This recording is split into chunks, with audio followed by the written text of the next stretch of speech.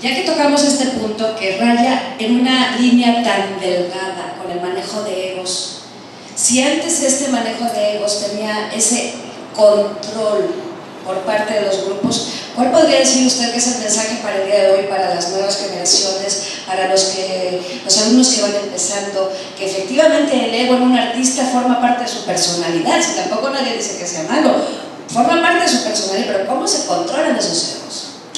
Se controlan desde mi humilde punto de vista, el ego se controla reconociendo reconociendo, un reconocimiento. Siempre va a haber gente más preparada y menos preparada que yo. Entonces, yo voy a trabajar conmigo. Mi reto va a ser conmigo y lo que pueda hacer. Entonces, para mí, y que considero que un ego es inseguridad. Así lo veo. No sé si estén de acuerdo conmigo, pero pues no somos más ni menos que nadie. Somos compañeros y como artistas somos amigos. Y como trabajadores seguimos adelante. Lo que ustedes aquí vieron ha sido una trayectoria hasta el día de hoy. Pero Dios me dará salud para continuar con proyectos que probablemente los seguiré eh, compartiendo con todos ustedes. Mi mensaje para los jóvenes es, no te confíes, no te confíes, no uses el ego, usa el trabajo. ¡Bravo!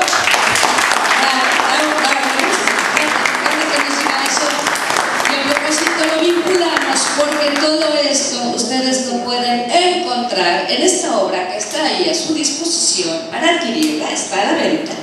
Es el trabajo de investigación de muchos años, también de mucho trabajo ejercido en el escenario por parte de la maestra Norma Mar, y me refiero a Identidad Tamaulipeca, que en un momento más vamos a hablar de ello, pero ¿quién quería la palabra? ¿Alguien quería saber? Maestro Rodolfo Rivera, amigo, gracias. Adelante. Muchas gracias por la invitación. Este, felicitar a Desarrollo Social, ingeniero José Luis Martínez Navarro, licenciado Gustavo Moreno, por este nuevo proyecto que se inicia, que sean muchas entrevistas muchas conversaciones las que se logren. Hoy inicio de lujo con la maestra Norma Mar, eh, tengo el gusto de conocerla, de acercarme a ella quizá desde hace tres años y medio, y se habla de una persona a quien admiro y respeto, sensible, gentil, de gran calidad humana, líder, que está llena de satisfacción de todas las actividades que ha realizado, que cuando tuvo la oportunidad de estar y le dieron un espacio en una administración pública, lo embelleció con su sonrisa. Un espacio que ahí está, pero carece de su presencia, carece de su imagen. Extrañamos esa, ese tacto, ese trato, esa amabilidad que siempre nos brindó a todos los que por ese sitio pasamos por ahí. Líder, sencilla, triunfadora, yo creo que muchos sueños cumplidos, pero ¿qué falta a la maestra Norma Mar? ¿Qué sueños le falta por cumplir?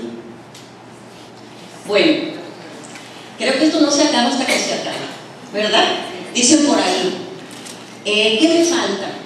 Bueno, me falta realizar proyectos que todavía tengo pendientes por ahí. Miren, aquí hay un, un, perdón, aquí hay un DVD que se llama Viva México y su historia, que luego platicaremos de él.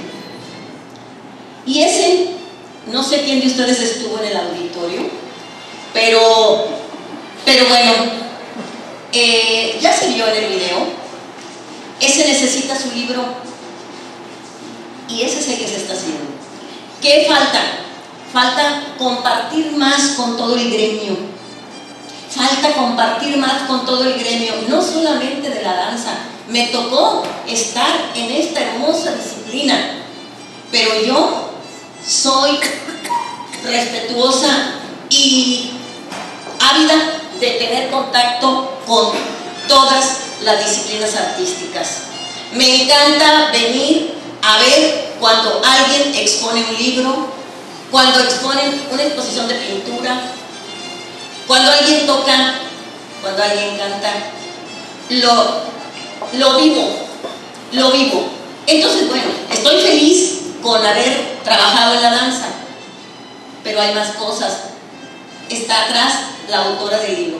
Ahora, eh, pues el libro, el libro de Identidad Tamaulipeca me abrió el caminito, porque pues ahí yo estaba iniciando, y cuál fue mi sorpresa que no necesité corrección de estilo, porque yo soy maestra normalista y pues tuvimos que pasar por todo ese tipo de cosas.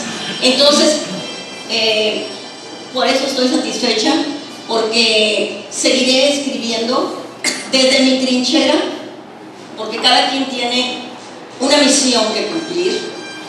Yo ahorita quiero ser conferencista, quiero estar donde haya mucha gente más que conozca, mm, primero, lo de todo México, pero principalmente lo de nuestro estado de Tamaulipas.